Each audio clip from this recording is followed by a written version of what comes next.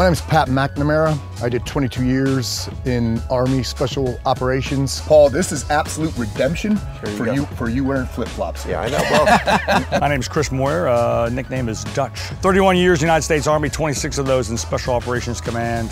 If you do something dynamic, right, the flip flops come off, you get glass in your feet, like John McClane at Nakatomi Plaza. My name is Rick Hogg. I'm a 29 year U.S. Army Special Operations combat veteran.